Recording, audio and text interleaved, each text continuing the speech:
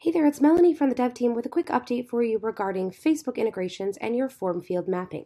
If you're utilizing Facebook ads, previously you were only able to map text fields, but now you can map multiple field types if you're utilizing Facebook ads, and it will integrate back into your system.